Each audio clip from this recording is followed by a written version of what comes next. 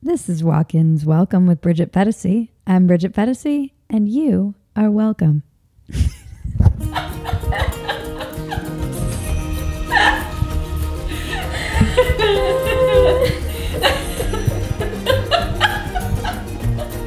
know the drill.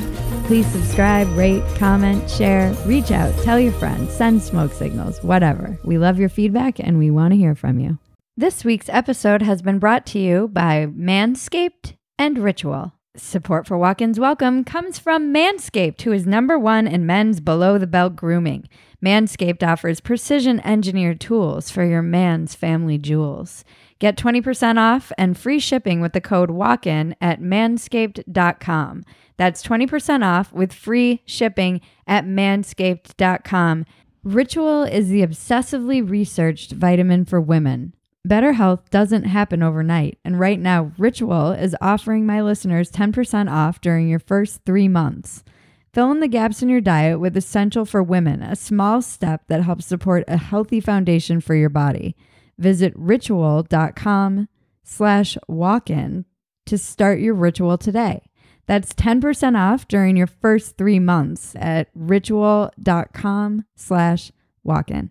This week, we're excited to have Helen Pluckrose on the show. She is an exile from the humanities with research interests in the late medieval, early modern religious writing by and about women.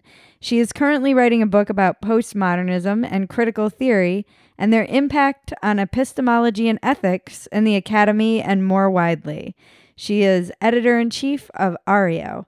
Now, this might not sound like the most engaging of topics. It's very heady, but Helen is by far none one of the most brilliant women I have ever had the honor of speaking to. She is fighting the good fight. She is also one of the co authors of the grievance studies, and nobody really understands critical theory better than Helen. So enjoy.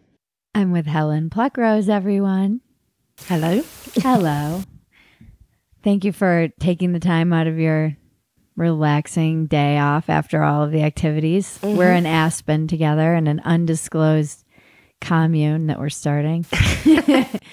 yes, the, the owner of the house doesn't know we're uh, planning to make it into a commune, but we'll um, we'll introduce her to this gently. Yeah, she, she doesn't know yet. We're taking over her house. you are one of the three, the now infamous three of the grievance studies. Mm-hmm. And I got to watch all three of you speak last night. I've never met you in person, obviously, because you are f- from the island, as Peter refers to it. Whereabouts are you from? You know, are you from London proper? Were you born and raised there? Yeah, I was born and raised in London, in East London. I, have just moved three miles out of the city now because it's okay. a little bit greener. And would you, did you, oh, were you always in academia? Is no. that you? Okay. So what did you want to be when you were like a 12 year old? Mm. I think I think at 12 I wanted to be a writer, but by the time I'd finished secondary school, I decided I wasn't academic at all, and I was going to be a care assistant instead. Okay. And how long did you do that? 17 years.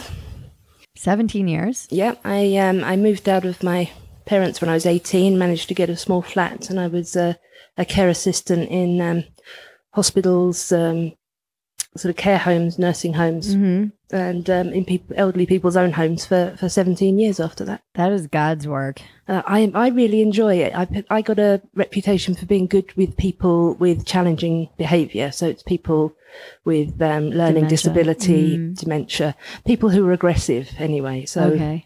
I um, I actually quite enjoyed working with them, learning how to sort of soothe things and de-escalate things. I suddenly understand why you're so good with social justice warriors. this makes so much more sense to me now. So I, have definitely spent time. Um, a couple of old timers in recovery, they've died over the years, but I always end up going to see them in the in the homes or wherever, and there's such a different I don't know the the work that the people who do it feels like such a job that's so underappreciated by the general public, mm. and it just seems like it's so hard and sad, and I don't know how how do you handle that emotionally. It worries me a lot because the problem is that care work is sort of paid in the UK anyway at minimum wage. Yeah, I think it's the same here. And it's considered unskilled work. Yeah. So the people who go into it are often people who can't really get a job anywhere else. Mm-hmm. So they may not at all be motivated by trying to make the life of um, somebody who's vulnerable, who's elderly, who's confused, more enjoyable. Right. They might just sort of be going through the motions, and we did see quite a lot of that. So I, I don't know how we would actually change the system in order to actually train people a bit more and and pay them a bit more so it gets the the people who really like the work yeah that was one thing i noticed was both in both cases the people um and, and there's such a drastic level in the united states in care depending on what your retirement looks like, the state funded versus um, the if you have a little bit more money to pay. And in the state funded ones, or I don't know, Medicare or whatever it is, who pays for that, and they all their jewelry and stuff will go missing. Like the guy, he had this ring that he loved, and he's like, I know they took it. I know the guy, and no one believed him, and all of their valuables end up kind of just disappearing but I think it's the product of just being underpaid for kind of challenging work. Mm, and just, just an apathy as well. I, I, went to take, after I'd left the home, I, I went to take one of my ladies out for lunch and it really perked her up. And I brought her back and um, as I sort of wheeled her in, she was all in, in, good spirits. And she said to the, to the carer, Oh, we, we had this and it, it was, it was so nice and it was really. And this carer just broke through it with, Do you need the toilet? Oh. And you know, it's just that kind of attitude, not yeah. really seeing people as people. Yeah. So they can be perfectly physically well cared for, be kept clean and fresh and uh, proper, properly medicated cream and everything, but have absolutely no human contact. Yeah. No conversation. It's, um, that, that's what's so upsetting. That's why I like to do home care, really, because I was completely on my own then uh. with people. I would go in and I would have half an hour to spend with someone. I'd get to know uh, what they liked, how yeah. how they wanted their tea, how they liked to dress, and you know you can sort of perk up, uh, make a day start well for someone. Yeah. It makes such a difference too because in those environments, I find their their brains just go to mush. A lot of it is because there's not any stimulation whatsoever and they'll be just i watched my friend deteriorate over the course of a, a long time up in many, three or four years from when he went in. And it was just wheeling him out into the you know common room making him kind of eat and then wheeling him outside where and this is the amazing thing about something like recovery is that there was a group of men and they brought a meeting to him every single Wednesday. It was a, a men's meeting and they met every, and it was his favorite part of the week. He looked so forward to it and then he had a rabbi who came in once a week and sat with him and it was amazing to see how many people uh, in primarily recovery and religious organizations do actually show up at those places and try and make them a little bit more exciting or just give them that human feeling i think because they get just shuffled around absolutely and i worked um, helping out the uh, Humanists UK mm-hmm. uh, sort of uh, society uh, social program, mm-hmm. and, and, they mm-hmm. send um, carers. Uh, they they send humanists, but they call them chaplains in some contexts. But really, they're they're people who who go out into to prisons, care homes, hospitals, and talk to non-religious people about how they're how they're feeling, how their well-being is. Ah. And I think, especially in somewhere like the UK, where, where more than half of us don't have a religion, they those uh, sort of elderly people might not feel like they want to talk to a vicar or a rabbi or an imam. They they might want a, a non-religious person. So I, I, think that's a very good cause to get behind. Can yeah, make a real difference. It can. And so you were in that for 17 years. Did you go to school after this? Yes. Okay. And what made you decide to go to school? well, I'd got into an, a nice routine with my, my clients in my own area and I was cycling around um, around sort of Epping Forest. And then um, something happened with my uh, strange neurological condition that I have. And I had uh, suffered some paralysis down one side and my eye turned in and I was in a lot of pain and dizziness. And I couldn't get on my bike. I couldn't work. And so I, I really had to spend most of my time sitting or lying down for a couple of years. Oh, wow. Yeah. So in that time, I decided to do what I'd always said I was going to do. I was going to go and do a degree in English literature. Mm-hmm. So I got in touch with my local university and I said to the, ask them if I, I, said I can I can get about short distances sometimes sometimes I can't is that going to be okay they said they would waive the requirement for attendance. Oh, wow. For me. And I, I managed to keep it up. I had to take six months out um, when it had a particularly bad phase, but otherwise I managed to get through it. Wow. And then I, I did, I came out of that with a, with a first. So I went on to do my master's in, um, early modern literature, which was 1300 to 1700. So that's late medieval, really, which is the period I was, I was interested in. And why are you interested in that period? I like because it was a really sort of rich and exciting period for religious development. You know, in the in the 14th century and, and part of the 15th century, we had the, the mystics. Mm-hmm. There was this um, in Catholicism because I'm looking very much at the the UK. So. Um, this sort of period is, is Catholicism. Re- Reformation obviously happens later, and that's why I, I like looking at that period because mm. I like to mm. look at the different ways in which um, women negotiated various narratives and how that changed over the Reformation.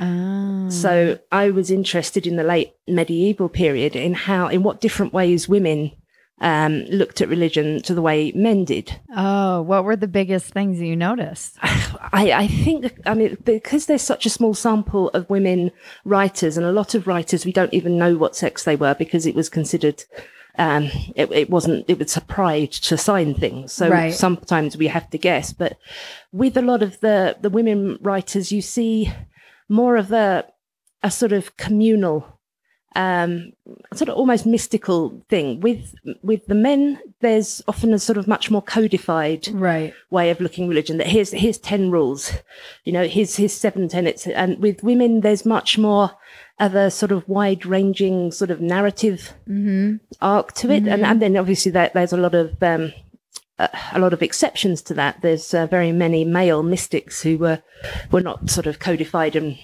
and rigid in, in that way either. But um, I liked particularly um, at Margery Kempe, mm-hmm. one of the religious writers of um, the early 15th century, and she was a very very interesting character because her book it, it disappeared. It was written, I think, in in 14 17 or some, something like that. I've forgotten now.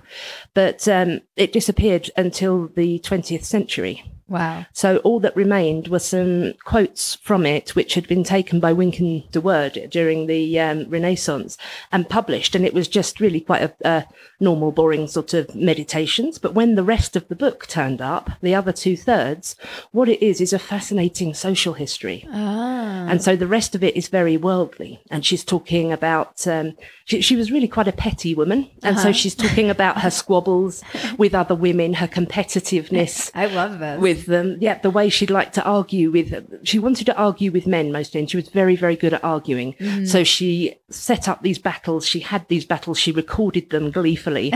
you know, and she's, she's a very, and that we see now why, um, that, that had been cut out because right. they wanted her as a holy woman. They didn't want this very, very human and vengeful. yeah, quite, quite high maintenance woman. I, I think I think now we, would consider her to have a histrionic personality disorder uh. or, or, something along those lines. But uh, it must have been so hard to be a woman back then. It, it's crazy to think about.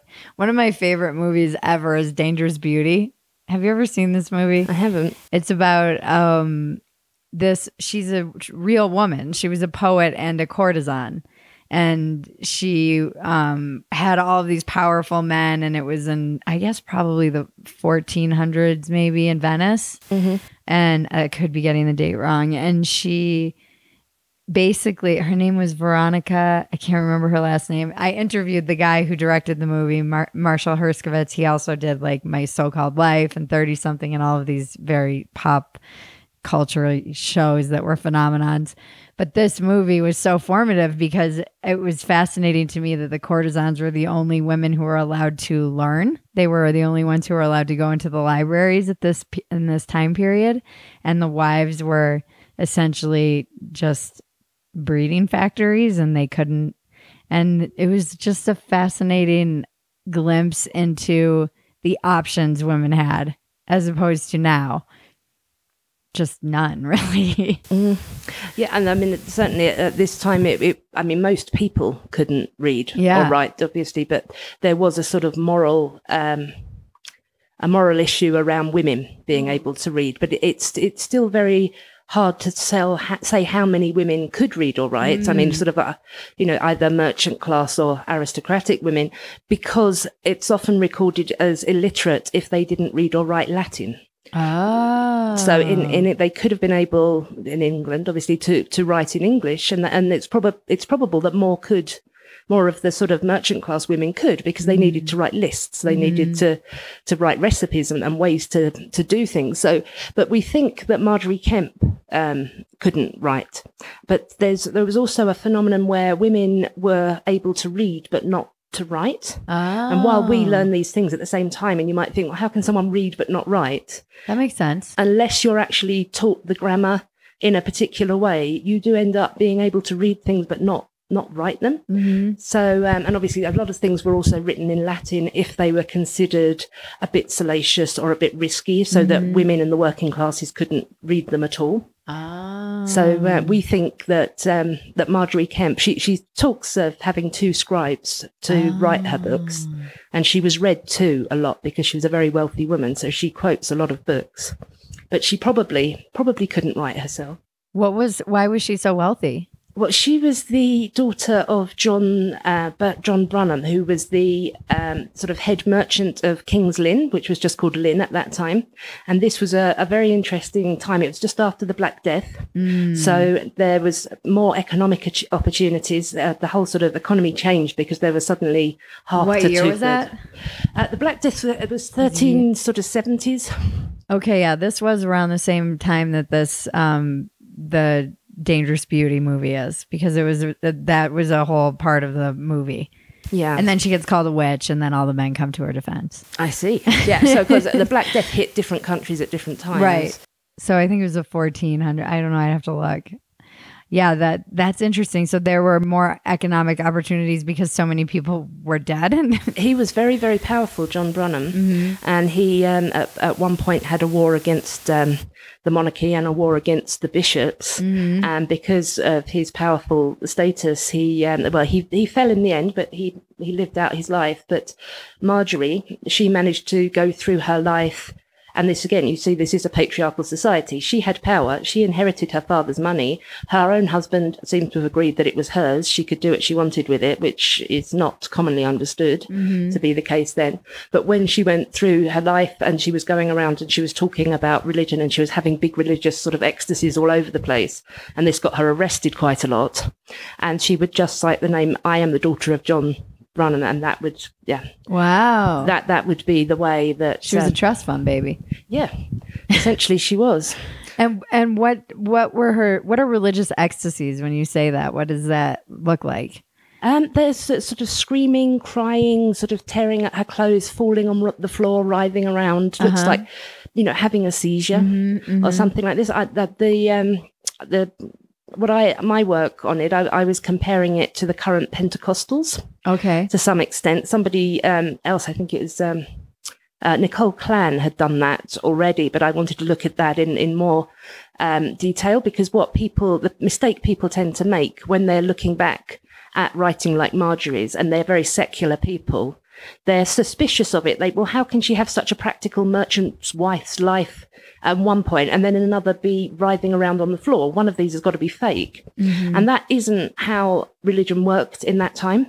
People were both deeply religious and very practical. There uh-huh. wasn't seen to be this contradiction between the worldly and the spiritual that we see now. And interesting. People really had to do both, and of course, many many didn't. That we we don't know that any atheists existed um, specifically, but we do know people existed who sort of lived as though they didn't have much faith, who had to be nagged to go to church, who didn't speak about religion. But mm-hmm. and why were you so interested? You're an atheist, correct? Yes. And why are you interested in the relig- this particular um, women in religion and how that is all connected? Well, this this all started when I I was um, both a feminist and a Christian, And so I became, my, my parents were both atheists, mm-hmm. but I um, used to stay at my friends and we used to go to Sunday school on a, a Sunday. And, and in um, UK schools, they have Christian worship. So I became a Christian when I was seven. There's no separation of church and state. In, no. Right. Okay. You Parents do have the right to keep their children out of um, uh, religious uh, sort of um, assemblies, but then they miss so much else. So okay. my parents didn't want to do that. Mm-hmm. So I became a Christian and um, I started to read the Bible at nine. I had myself baptized at 11 and confirmed at 13. Mm-hmm. And because I'm, i tend to go deeply into things, I'd, I'd read the Bible in, um, entirely by the time I was 13. Oh my gosh. Um, four, well, four times by the time I was 13, apart oh from number numbers, obviously, and you know things that didn't have a. And then I started to Did read you a lot read it in Latin at 13. I started to read a lot of theology as well mm-hmm. and go to a lot of Bible study and theological classes, and I, I got very, very into it. So ah. um, even though I, I, it made me quite unwell anyway because I was so worried that my parents were atheists and they were going to go to hell. Oh, what were you? You were t- explaining this to me. What is it called? A, a literal um, I, I, suffered, I was diagnosed with, with um, religious intrusive thoughts and scrupulosity. What is that? Well, it, it's a kind of OCD. So when, when you have OCD, there's an obsessive component and there's a compulsive component. Mm. So the people who have the obsessive component have thoughts that they just can't let go of and they're not right. helpful.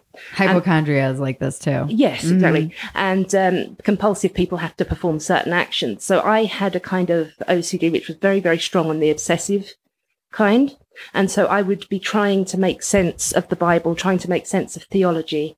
Like one thing that worried me an awful lot when I was about 14 was um, that I, I kept fearing that I had, um, I had doubted the Holy Spirit. Now, doubting the Holy Spirit is the one sin that cannot be forgiven. Uh-huh. So, and that means you're going to hell. So I, what is this? It's a lack of faith, actually. So I worried about this a lot. And then I saw that um, Martin Luther had had the same worry and he'd driven himself mad with it. I am absolutely convinced he had OCD. Uh-huh. But his solution was he said that um, to dwell on this possibility all the time was really very simple. It was doubting the Holy Spirit itself. You have to just have faith. You need to right. stop worrying. It's actually a sin to worry. Right. And that saying something like that to a person with OCD, you know, it's um, it, it made me very, very ill. So I, I, got I was extremely underweight a lot of the time, and I was um, um, self harming, and I was um, I, I, went into hospital a few times to try and, and deal with it. So wow. yes, it wasn't very pleasant. But, uh, That's so crazy. I, it's it's just so young to be that um, literal, you, or that just crit, that amount of critical thinking and it, it, was my depth, I guess. my brain was trying to make sense of it. I needed to make it all work, and I needed to know what what to do and I couldn't. It, there were there were too many contradictions, and there was too much um, doubt and uncertainty. Whereas, you know, my my friends and the the people, the Christians who tried to advise me, were had a much more relaxed sort of just trust God, just you know, right. Uh, just just have faith, enjoy life, and, and I I couldn't do that because I needed to know: is this true? Uh, can I survive the death of my brain and go on to either be tortured eternally or eternal bliss? Because that really kind of matters, right? And you're like, clearly, you guys don't believe any of this. Actually, if you're so just lackadaisical about it, because you're right. If people, if if we all did really truly believe the word of the Bible, we would probably be a lot more anxious than we are, and day to day life. I mean, I, I see people that they're making plans for their pension. They're worried about their old age. They're, they're making sort of very complicated plans. But when you ask them, you know, they, they don't seem to have really given much thought to the possibility that they might go to hell, even though they're considered Christian. Yeah. Uh-huh. And of course, it was a big worry for me because my, my parents were both non believers. So you were worried that they were going to burn eternally and yeah. you were going to be one of the, the children's Bible I had, one of the first ones, it um, it had a picture of people in heaven um, feasting while watching people burn in hell. Oh my god! Why did your so? What's really interesting to me is that did your parents push back against any of this? My my dad tended to he he was just extremely busy all the time. My mum, I think she took the wrong tack really. What she said was the the completely correct liberal thing, which was it's okay for you to have this belief, but you mustn't try to push it on me. I don't want to hear about it. You believe what you want, I'll support you with that. You can go to church. Don't push your religion on me. So that's fine, I think, when it's two adults talking, but I was really getting quite unwell with this. Right. I really believed that she and my dad were were destined for hell unless I could fix them. Right, right. I had this one thing. There was um, a little jade Buddha in my parents' house, mm. and that was a, an idol. It was mm. sinful, mm. and I wanted. I begged them to get rid of it. And my, my mum got quite annoyed. I love you so much. More and more, I just love you. I just love you. Just remind me of um. I was I was a weird little kid too, just, just a weirdo, and I had this. I don't know if I've told this story on the podcast yet, but I had a moment kind of like this. I mean, it sounds like you had a bit of an existential crisis. Oh yes. and I was in the woods, probably 10 years old, and hiking through Connecticut. And there are all those colonial gravestones that are just randomly scattered throughout the woods. And I stumbled upon one. I don't know why I was allowed to just go in the woods by myself, but there was a whole, you know, John, beloved father, husband, brother, and I have an active imagination. So I imagined his whole life and I was like, what was it like? And this guy, and I'd been learning, we probably were learning about the colonial era people at that time. So I had vivid images of this man with his kids and, and then I was looking at the dates and then I noticed the dash between the two dates and I became aware that everything that I imagined in this whole guy's life just came down to that one little couple of inches. And then I became aware that I was in my little couple of inches and I was inconsolable. I went home and was crying to my parents. I was like, We're in the dash. We're in the dash. They're like, What do we do with this kid? like, I don't know what to do with you they were like, "What are you talking about? We're in the dash." like I couldn't conceive. I just had a moment of awareness of like how stupid it all is. I, I think I, I remember having that, becoming aware of my own mortality. yeah. And I, my my daughter did as well, and she she was. I think it took her about six weeks not to cry every single night and ask why do we have to die and what's being dead like and yeah, oh, it's a it's a huge thing, and I think I mean huge if, thing. Yeah, if you, if you read um, Jim's life in light of death, it's uh, it's something that we really go through our lives trying not to think about mm, mostly or, yeah. or, having some nice sort of simple uh, resolution to this like like heaven or like like a, a, legacy or you know and then we we just don't think about it.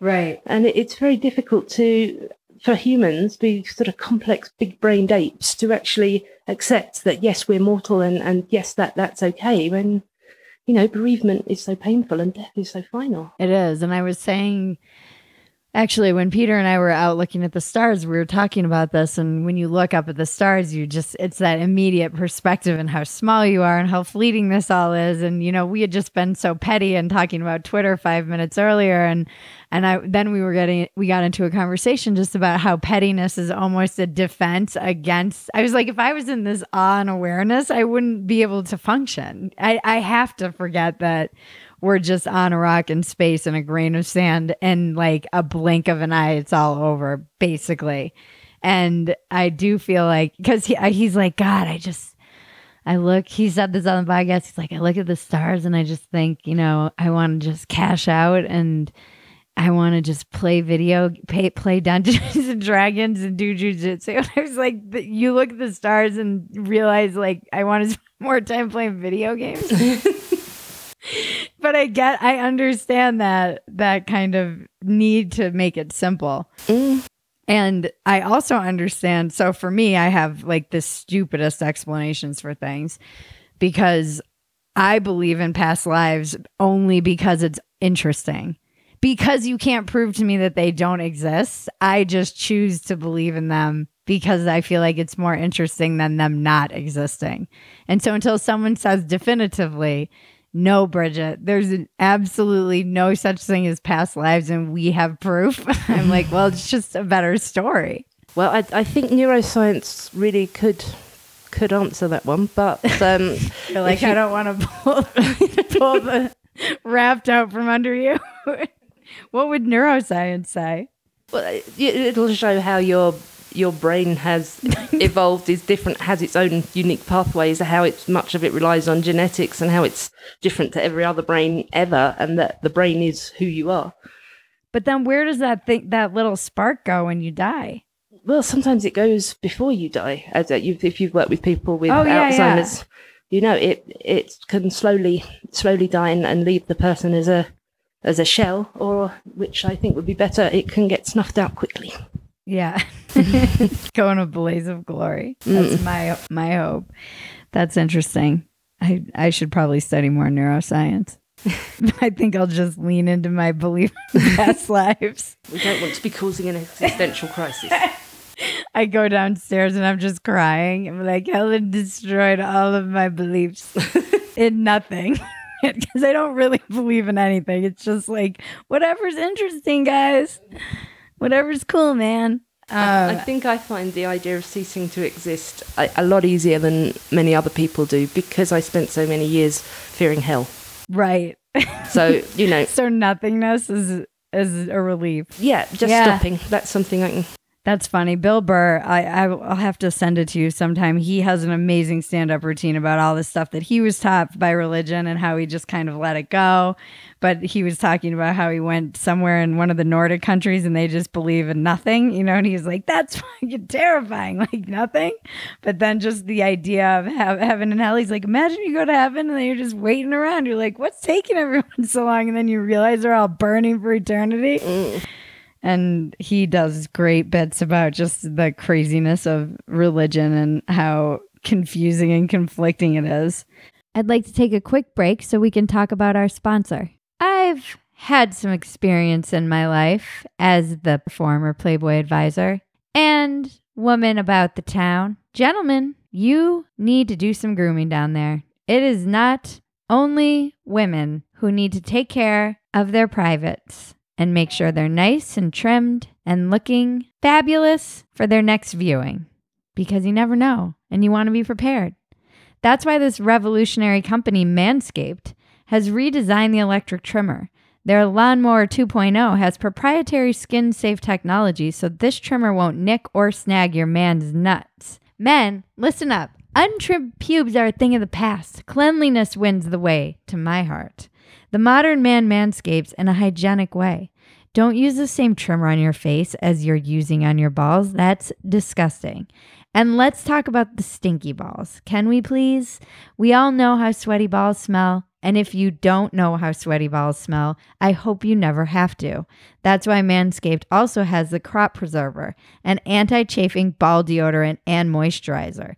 Men, you already put deodorant on your armpits hopefully. And if you don't, please start doing that. Why are you not putting deodorant on the smelliest parts of your body?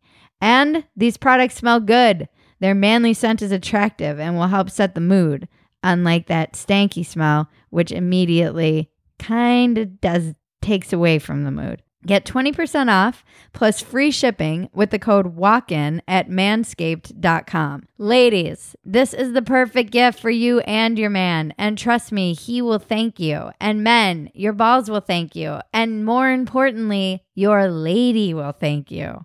So, guys, get 20% off and free shipping with the code WALKIN at manscaped.com. That's 20% off with free shipping at manscaped.com and use the code WALKIN. So when did you kind of officially become an atheist after all of all of this? Um... I, I stopped being able to believe at, at 16 and I, I was in church and I was just listening and, and I, it just, well, how do we actually know this is true? I remember that thought just coming into my head. And then I started to, to read a lot more different things to try and, and strengthen my belief. And it just kind of slipped away like sand. Yeah. But I, although I'd, I'd, I couldn't believe anymore, I couldn't entirely not believe either, mm-hmm. and so I was kind of stuck in this um, in this place of, but what if it's true? Purgatory. And if it is true, I'm I'm now an atheist and I'm going to hell. So I've got to try and believe, and then I tried to believe and I couldn't believe, and then I'd I'd worry again about what if it was true, and so I read um, at my, my sort of late twenties, I think that was when they came out in my thirties, was that new atheist moment. Mm-hmm. And so I read um, Richard Dawkins mm-hmm. and Sam Harris, mm-hmm. Michael Shermer, and mm-hmm. he, Michael Shermer on the brain was actually very, very useful to me. It got over my fear of hell. Okay. And then there was that guy called Peter Boghossian and his manual for creating atheists. So ah. I put those four books as the ones that that that got me over it. I mean, I, I, after I was about 16, 18, it got gradually better. I stopped having the fears. They got further and further apart. But it was when I was um, uh, it was a day that um, somebody had predicted that the world was going to end, some religious group. Mm-hmm. And I was walking my dogs over the field and the sun went in at the very same time as a helicopter came over. Mm-hmm. And so I just, oh my God, it is, it's the rapture. And I, oh, for goodness sake, you've been an atheist for like 15 years now. and that was when I really had to sort of give it, give it more thought and stop the sort of um, intuitive, irrational fears mm-hmm. from, from intruding. Yeah. It gets put in your brain so young, a lot of it. For me, I was Catholic. So before you can even evaluate those beliefs, you're just taught them.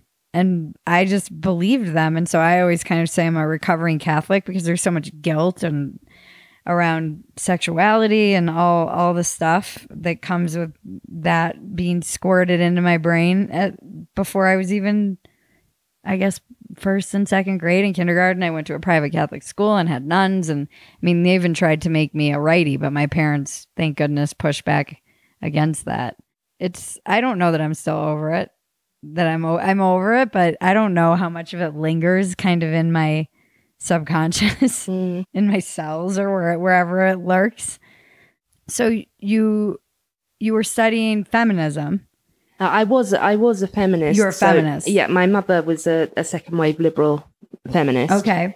And um, she came to London at the age of 18 and she worked for Lloyd's Bank. Um, weren't, women weren't allowed on the um, the bank floor uh-huh. itself, uh-huh. and they weren't allowed to take accountancy exams. Uh-huh.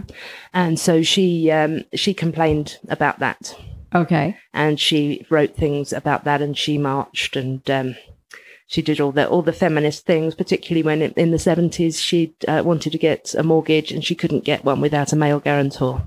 Her father had just died. She wasn't on good terms with her brother. She just couldn't get a mortgage. Wow. So she was that kind of feminist, and she still describes herself as a feminist. Mm-hmm. And so I was a feminist too, mm-hmm. and I was very much a liberal feminist. So in the nineties, when I sort of started out into the sort of working world everything. I, I was very much a feminist, but it was a it was a really optimistic, positive kind of feminism. Then it was that sort of sisters are doing things for themselves mm-hmm. feminism. Mm-hmm. So we'd assumed that we had essentially won, but we were just dealing with some attitudes. Right. So my first boss, um, he was a, and a, and a much older man, and, and he said to me, "Oh, well, you are a clever girl," and I said to him, "Thank you. I think you're a clever boy." And so it was that kind of, of humorous sort of pushback. Right. And so he sort of uh, laughed uncomfortably about that, but he didn't call me that again. Right, exactly. And, you know, and, and in the UK, it was quite common for, for men to call women birds. Mm-hmm. And so I would, um, if they did call me that, I would just say cheep until they addressed me properly. Mm-hmm. So you said there was a, there was a kind of, cheeky. Yeah, there mm-hmm. was a mm-hmm. bolshiness, there was um, an aggression there, but it was friendly. Mm-hmm. We didn't think people were evil. We didn't want them punished, cancelled, fired. Mm-hmm. We just wanted to point out when right. there was something a bit sexist going on. I don't even think they realize it half the time. No. So uh, by this time, by my my twenties, then I was yeah, I was I was an atheist, but I was very well read in um, Christian theology, right, and um, and the whole sort of Christian narrative. And I also had a feminist uh, focus. So when I wanted to go and study literature, I wanted to look at women's history. I wanted to look at women's religious history. Cool. When did you start noticing that that there was this kind of corruption occurring in the in the what are they called again? The, the like cultural, yeah, cultural studies, studies. media studies, mm-hmm. yeah, literature everywhere they they pop up. It was I understood it um, better when I got there. If because I'd been reading a lot of the new atheists, the sort of postmodern thing had come up, and I'd I had an understanding of the basics of how it worked mm-hmm. because they were critical of that too. But my very first um, first year as an undergraduate, it was there was the ways of reading thing. And with that was when we were taught literary theory. And mm-hmm. from that point onwards, we either had to read things through uh, feminist, uh, Marxist, post-colonial, queer, uh, any of these kind of um, theoretical lenses. Mm-hmm. So we weren't really allowed. They they were very. Um, they, they, they condemned uh, liberal humanism. The, the very first course was why liberal humanism is bad.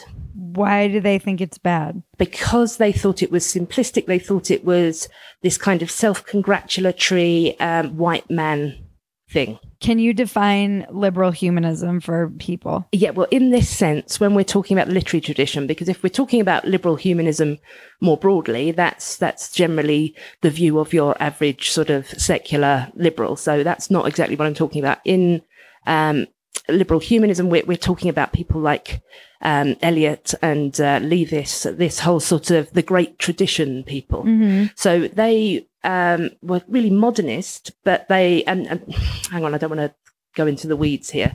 So they they are known as the modernists, and they are the people who came before the postmodernists. Okay.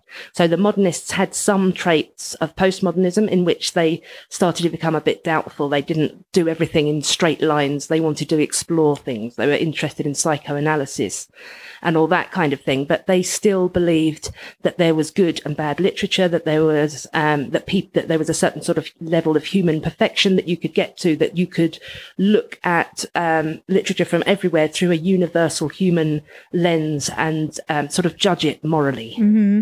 So the liberal humanists there, I mean, they, there, there is some validity in saying that they were very much a Western um, phenomenon. Right. They did tend to think that the reader was a man. Mm-hmm. They did tend to think that the um, West was the pinnacle of, of, science and reason, and the the East was quite sort of, um, you know, superstitious. And right. So, so that was there is that problem with the liberal humanists. But on another level, they also they they also spoke to universals. They they did readings of the text as it is. They were interested in what the read what the writer um, believed and what it could tell us about humans, how what wisdom it right, could give us. Right. So that you know that that is something that I think it's a shame to entirely lose because at this point we then got um, Roland Barthes who spoke about the death of the author. We no longer care what the author meant. We're looking at how we interpret things culturally and how different people in different cultures interpret things differently. Mm-hmm. So this is where we're getting the, the shift to the postmodernism. Mm-hmm. Mm-hmm. So yeah, the, the, liberal humanists, we, we were just, one of our exams was essentially why liberal humanism is bad and, and then pick another couple of theories and why they're good. So the, it was very, it was very difficult to sort of do any kind of empirical work or or humanist work then. If we're analyzing literature i would always want to come at it from what was technically a feminist angle because i was really interested in how women's roles were in this time. That's the point of historic literature right. for me. What were women doing? What were they saying? Right. But it was getting increasingly difficult to do that without a specific lens which focuses on the core ideas like patriarchy like the male gaze right and so it's it's shallow. It's very shallow. Whereas I I see in um, in history a much a much richer role for women. Mm-hmm. I see them as having more um, power in the social realm mm-hmm. than is is understood. I, I see them having more power in in the home in relationships. Mm-hmm. I don't see them as these kind of uh, I don't know sort of then they weren't these sort of placid non-entities mm-hmm. and I, they were suffering under patriarchy. Mm-hmm. So, you know, this is where I think we have to have this line. Women were living in a patriarchal society. This doesn't mean that they were oppressed by men every minute of every day because, you know, we, we have to look at a society as how the worst people behave in it. So if we looked back at history, the history of men and women, we're going to find that in the majority of cases, men loved women and they wanted them to be happy. Right. So women could have a good life under a patriarchal system as long as they didn't want um, any kind of um, ruling power. Right. And as long as they got a good husband. If they were a brilliant person with great sort of aptitude for science, they were screwed. Right. If they married a bastard, they were screwed. Right. So it's a terrible system. Right, right. But that doesn't mean we should read history in this simplistic way of, of let's read this text and see how women are oppressed in it. I've always said this with literally no ev- evidence other than the fact that we're here. But writing for Playboy and stuff, I I always push back against this idea that all men are bad. I'm like, if all men were bad, we wouldn't be here. Just as a as a species, I cannot think that all men were murderous rapists because they i think in general their inclination is to protect women and children for by the most of the time. And there are the roving gangs that don't and the but i don't think it's the majority of men no, Bret Weinstein um, explained to me how this is impossible in evolutionary terms because genes will go on from men to be either male or female. Mm. They just, genes can't develop in which men um, try to improve their own situation at the expense of women's. Mm, they can't be, men and women cannot be at war with each other in the ah. species. So, well, we are currently. Yeah, see that. Uh, who was it? Was it Eleanor Roosevelt who said that um, the, the gender wars will never really go anywhere because there's too much fraternizing with the enemy? Oh, that's funny. So then, when you were studying and noticing this, do you think that it was your deep grasp and OCD about religion that made you recognize that there this is somewhat of a religion being kind of presented as a fact? Yeah, I mean, I I had come by that time. I, I, was very interested in critical thinking, in in reason, in science. I was reading a lot about about about epistemology, about ethics. How do we know what is true? Can uh, uh, is that the definition of epistemology? Can yes, a lot of people, including myself, I've just started to get my mind around this word, despite looking it up probably hundreds of times. And but I need to I need to understand it in context, so I feel like I get it. You more. could very simply replace the word epistemology with the word knowledge, mm-hmm. and it would still work. People will know what you're you're talking about. So uh, but different, it's not different really kinds knowledge, of knowledge. Really, it's more how you know things. Yeah, how do how do we how do you know what is true? How do we decide what is true? So, in the medieval period, the um, sort of benchmark for truth was divine revelation. It was religion. Right. Then, over the modern period, we have moved gradually towards science and reason. We think things are true if there is evidence for them. Right. Okay. So that is the epistemology of that time. The postmodern epistemology um, says we only rely on evidence and reason as the benchmark for truth because we have a society that's constructed that, and that society works in the service of straight white men. So, what is that epistemology then? Well, it's is um, it experience? Yeah, it's a standpoint epistemology. Now, that doesn't only belong to postmodernism. The most um, influential scholar of this is, is um, as a Marxist feminist that I'm thinking of. But within postmodernism, yes, this epistemology is about um, position in society. So we imagine that society is made like a grid and it's a power grid and there are systems of power and privilege and you're born and you're a woman. Mm-hmm. so you're going to go quite low down but you're also white so you're going to be a higher up than a black woman. And i'm in america so yep. colonial. Yep so so colonial. there you are. You're you're in this um, complex relation to power in which you will speak in ways as a white american woman. Now, in those ways that you speak, you will be unintentionally probably reinforcing whiteness and imperialism and the patriarchy. Yep, you can enforce the patriarchy as well, but you also have the ability to see things that um, men don't. Right. If you become woke to them. Right. And then you can um, talk to power from that. So it's angle. all. So the epistemology of this time is really just the a power structure. It's just power. Yeah, it's power and dynamics. It's, it's language. Mm. So the mm. idea that um, that dominates postmodernism is that knowledge is a stru- is a construct of language. Okay. So if there is the dominant belief that men should be dominant and women should be submissive, then this is policed and monitored by language. And it's not just how men speak to women, it's how women speak to men, women speak to women, and men speak to men. And because we have this expectation, we accept it as true, it's this power is sort of perpetuated on all levels of society, whether it's the, the president of the United States or a 12 year old on Twitter. they're speaking into this same discourse. And so we have the social justice people now who are trying to unpick this discourse. They're trying to deconstruct it, although they don't often use that term now. That was one of the earlier postmodern terms, but it is what they're trying to do. When they, when the word woke comes up, it, it, it, it describes becoming more aware of this power structure and being able to see it.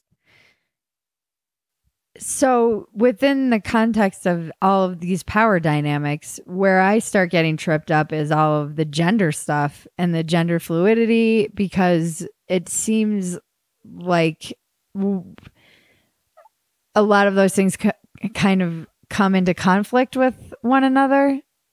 Yeah, I, I, mean they, they certainly do. But when the the whole sort of queer theory um, basis, that's that's the one that says that um, there is no binary between men and women, male, masculine and feminine, um, gay and straight, and that there is no correlation between being female and being feminine and being attracted to men. So this is the, the one that really wants to blur all the boundaries because it feels that by doing this, it liberates people who don't fit in those simple binaries or, or sort of clusters.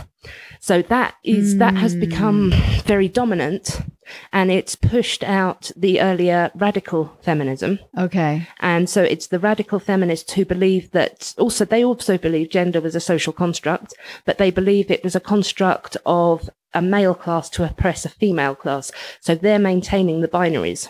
Okay, yeah, I get called ter- a TERF a lot. Yeah. Which is a, for my listeners who don't know, it's a trans exclusionary radical feminist. Yeah. But it's just because I always make jokes when I see things about the sports or or um, when you have a trans woman who's winning a sports event, I'll always make a joke. The patriarchy is so crafty, and that's kind of my my line. I'll say the patriots are the patriarchy is so crafty they'll turn themselves into a woman so so that they can beat women at their own game. Yeah, see, radical feminists will say that completely seriously. yeah, I learned that. uh, that. This is the strange thing about them. I, I've seen some of the memes that they've made, radical feminists, when they say that trans activists are MRAs, and then they put together the MRAs are men's rights activists. Yes, men's rights activists. So they'll put together their speaking points with trans people's um, activist speaking points, uh-huh. and they really do believe that this is a conspiracy on the part of the patriarchy to get men into women's spaces. We live in the craziest times. Yeah, so I, I'm, you know, I can't agree with the radical feminists, obviously, but they are consistent in their beliefs. They right. they don't have the contradictions. Where you'll see the contradictions in the the sort of the kinds of feminism and social justice activism that comes from um, postmodernism is really in between queer theory and critical race theory or queer theory and post-colonial theory because then you'll get the situation where you need to respect um, other cultures, uh, particularly ones that have been colonized and um, not um, moralized about their moral values. But you also need to support um, gay and trans rights. Right. So when we're looking at um, cultures, um, India, Pakistan, South Asian, uh, particularly, they're often uh, very socially conservative around LGBT rights. Right. So the good sort of social justice activists need to um, respect this, but they also need to respect LGBT rights and yell at anybody who isn't um, Eastern if they don't uh, support them. So right. that, that's where we get the mess. And then I see that, you know, the conflict that I've never really understood and I still have I've I've I've asked people to explain this to me is that if gender and sex are a social construct, then why do people feel like they're in the wrong body or need to take hormones? If it's all just fake or made up, why why do they feel like they're the wrong sex? Which is what I don't understand I don't understand. that's where those things come into conflict for me too. I'm they like, do. which which one is it? That's because that the gender as a construct works differently in the um, radical feminist view and the intersectional feminist view, the postmodern mm-hmm. view. So that what you've just said there is exactly why the radical feminists cannot accept that anyone could be born in the wrong body and see it as either delusional or a conspiracy of some kind mm-hmm. because they really don't think gender exists. Okay. But with the um, the sort of queer theory approach, they think gender exists. So if we take Judith Butler, because she's at the the core of everything. When she's Who's got, Judith, but- Judith Butler for Judith her? Butler is the um, writer of Gender Trouble, Okay. 1990, Okay. and she is really considered the founder of um, queer theory. Okay. And from queer theory has come an awful lot of feminism and um, trans um, scholarship Yeah. and all kinds of. So she really is a key figure, and she's a Foucauldian. So she's using ideas of Michel Foucault, who is probably the most influential postmodern Okay. theorist. So she has this concept of performativity. And what this is different to performance, but the way it works is that people perform um, roles and they make them real. So it isn't, as the radical feminist said, that gender just doesn't exist at all. For her, there is always a construct of gender, but it is still constructed. So what happens Oh. is you're, you're born and then as you learn to speak to walk to do whatever you also learn how to perform your gender okay. and you can do it right and get positive feedback or you can do it wrong and get negative feedback Mhm. and so you will then um, learn how to do it. And there are an awful lot of people who don't fit into this Mhm. and they need to have the freedom not to. Right. And course. so uh, you know someone someone saying i am a man because i have a penis is worth no more than someone saying i am i am a man because i feel like a man. Hmm so they can perform for, for butler it's all about subversion. So you need to subvert these binaries. Hmm and so you know you self-identity is is key there Okay. Okay. So this is where the self-identifying stuff is yeah rooted. although some of the recent trans activists have been annoyed with butler because she suggests that it is essentially um, a performance and they feel that it's much more real than that so she's Okay. responded to them by saying i'm not meaning to say that your gender identity isn't real but um, So you've gone very deep. There's this movie Rush, and it's about these heroin addicts or they're police, and they go into to undercover with heroin addicts, and they get addicted to heroin. Basically, at any point, w- was does your brain? Were at any point was it easier if you were just like I should just swallow the Kool Aid and go all in? You know, were you when you kind of were absorbing all of this and under really because you seem to have a really uh, deep understanding of the theory, but you're you're not a believer in the theory, which is an anomaly because most people who have this depth of knowledge in terms of queer theory, fat studies, all all of the different what other ones are there? Disability studies post-colonial studies critical race theory intersectional feminism Yeah. So most people who have the knowledge that you seem to have, they are they're activists or, or they're they're academics or they're writing about all of this very seriously. Mm. But you don't seem you seem skeptical of it. I'd like to take a quick break so we can talk about our sponsor. You probably know you should be taking vitamins to help supplement your diet. But with so many options, how do you know which nutrients you need and which ones you're probably already getting enough of from your diet? That's why you need Ritual. Ritual is the obsessively researched multivitamin designed for women by women. Ritual contains nine nutrients that are difficult to get enough of every day, even with a healthy diet. Instead of taking a handful of five to eight vitamins, Ritual makes it easy with two capsules a day. Order online at ritual.com. For around $1 a day, Ritual is delivered to your door monthly so you can stay on track with your new healthy habit. Ritual is traceable and transparent. Ritual searched the globe for the best suppliers and is transparent about where they source their ingredients. If you want to know more, you can find everything on the website. Easy, all in one, everything I want. That's why Ritual is the daily multivitamin I choose. I have been taking Ritual for about three months now, and I've noticed a big difference in my energy level, particularly that it's just more steady. And I forgot to take it for a couple of days, and my energy in the afternoon crashed. And it may or may not be the vitamin, but it was definitely a noticeable afternoon crash that I hadn't been experiencing. I like how clean the vitamin is, and I like that I know all of the ingredients in the vitamins. It is so easy to find where all of them come from, and they're so transparent about everything that's in the vitamin. Try Ritual today because you'll get an exclusive offer for 10% off your first three months. This is a great deal, so visit ritual.com slash walk-in to start your ritual today. That's 10% off your first three months at ritual.com slash walk-in.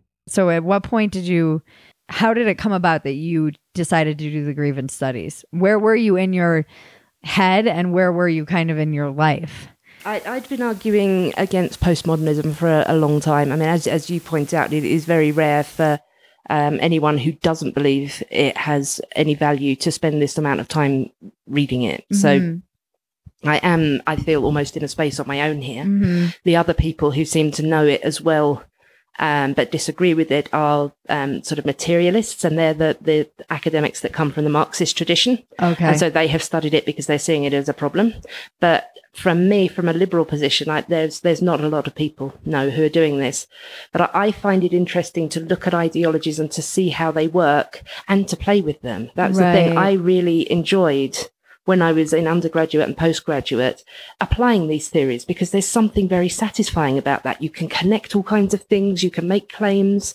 it's it's really fun, but uh-huh. it's also nonsense. So when I had to write, I was I had a compulsory um, postmodern reading mm-hmm. to do, mm-hmm. and I I did it, but I spent the first part a long introduction saying essentially why everything I'm about to say is crap. Right, and that's that's how we had to go. But yeah, when Jim and um, and Pete uh, said that they were thinking of, uh, well, they had they'd started. Um, how did you meet them? I met um, I met Jim on Twitter. Okay. We I disagreed. I thought I was going to disagree with one of his books. Okay. And I argued with him about it. So the first conversation we have on Twitter is me telling him he's wrong and him saying he can't read things for me. I have to actually focus myself. So that was sounds like Jim. Yeah. So that was great. but then, yeah, I, I, read the book and I liked it and I did a positive review of it. And then I positively reviewed his second one. And we got into some interesting conversations and he decided, suggested we should write together. Okay. And because he and Peter were already writing together, uh-huh. it seemed, um, yeah, well, to sort of combine the three of us. So we've, uh-huh. yeah, been writing. Peter and I can't actually write directly together because we're too different and we end yeah. up wanting to kill each other. But we can speak well together right. and we can write things um, which are then sort of um, reconciled via Jim. Right. So he's the the glue. so you decided to do this and we had i mean anyone can go online and see what's kind of come of it now my what we the conversation we were having the other day that's so interesting to me is that often what's happened to me is that I've reacted to this intuitively. I I don't have the depth of knowledge that you have about the theory at all. I didn't go to college. I wasn't exposed to it. I wasn't indoctrinated with it. I just kind of stumbled into it when I started writing a Playboy in 2015. so it was like i woke up out of a coma and and theory had an intersectionality had taken over and i just kept stepping in shit inadvertently without realizing that the culture had completely shifted around me because i was a 90s feminist i'm 40 so i came up and it was like yeah girl power awesome blowjobs are empowering and then no, they're not. I'm literally internalizing the patriarchy by doing this. And I'm was accused uh, just all kinds of things. I would say things like real man, which it's just a expression. It didn't really, but got piled on for things like that. So I kept stumbling into it and then intuitively reacted to it, then started seeing bigger, I guess, patterns and ways that this played out all over. People started getting canceled. My comedian brethren started becoming woke and doing TED Talks instead of comedy. It became just all of a sudden it was everywhere. 2016 was this kind of watershed moment where everything polarized even more. And I felt like you know, I get the criticism I get the most often is that I'm a reactionary. That's not an unfair criticism because I'm not necessarily saying I'm standing for anything. And I would, a lot of people say that I'm creating a path to the right. That I'm not, I'm not a true person who's really just independent and trying to figure it out because I'm, I'm not creating any pathways to the left, but I still don't know how you can, because I'm all for social justice. I want people I don't like the callousness I see sometimes on on the right and I don't I want people to thrive and there is inequality that I think we should root out and fight. But how do you do that without being totally insane? I think I think that's the key right now. I like like you. I think the majority of people still do work on a a liberal and modern mindset. They do believe that science is the way to know things, the best way to know things. They do believe that arguments need to be reasoned. They do want a consistently liberal ethic opposed um, uh, sort of uh, on everything. So we we don't want to switch from um, a society in which men are superior to women it, to one in which uh, men are men are scum and women are, are noble victims. You know, right. we want to have the same rules applied to everyone, and this is what I, I see a lot: is people responding to. Um, to, to sort of social justice ideas from a universal liberal perspective, and they're talking right past each other. Mm. So, you know, people will quite often say, um, well, put black in there instead of white, that thing you just said. And that doesn't make any sense to a social justice person because they are seeing everything as systems of power. They've got different rules that apply. Mm. If you say, say something that would be racist if you said it about black people, but isn't if you say it about white, that's perfectly consistent. Right. But this doesn't calculate, it doesn't, doesn't make sense to the universal liberals. And so they keep coming at these with that intuitive that this isn't fair, this isn't consistent, right. this is hypocritical. What are you doing? Right. And they, you know, so they know that it feels wrong, but they're not um, they don't understand the theory. The, yeah, they don't know mm-hmm. why it's mm-hmm. happening like that. They don't know why the social justice people don't see that it's wrong. Mm-hmm. So that's the thing that we need to do at the moment, and that's what I'm hoping Jim and Peter and I will put some time into doing is breaking down how the social justice um, ideas work and then articulating the objections that universal liberals have with them. So because that's the the what I'm trying to really define more and more what am I standing for. So I feel like I'm standing in this void or as I've been saying to Jim it's like we all exist, you the four of us and a, a lot of other people, Brett and Heather Weinstein and uh, that in this tear in the social fabric where I don't really I, it feels insane kind of everywhere. And it's very easy for me to be weaponized by the right. And I've always tried to push back against that. But every time I do something that comes out from the left and the the stuff that comes from the left feels like so insidious in this fundamental way that we've all agreed to like due process and science evidence and science and taking words and making up new meanings. And this all feels for some reason much more terrifying to me than than anything else. But i don't want to throw the baby out with the bathwater either and I find that when I ask people who are describe themselves as center left, and they say now people who don't know the theory or anything or where you're coming from, just very pe- simple people who they say, "Well, I'm a classical liberal," because it's really what they've heard. But that's also what the center right is saying. So, what is the difference between the center left and the center right from your perspective? What makes the center left? What is the pathway still to? The Democratic Party, I guess, in this country. Mm, well, I, I think I'm probably better addressing leftist values and rightist values. Okay, that's perfect. Democrats and, and yeah, yeah, yeah, But um, I think that's what I mean anyway. Yeah, because okay, so we have people saying um, that they're classical liberals. This can be understood um, often to mean uh, libertarian, uh, free markets, right leaning. Okay. So I, I used to call myself a classical liberal because I meant that I um I I uh, I adhered to the to the traditional sort of Millian liberal views. I wanted free speech. I wanted progress.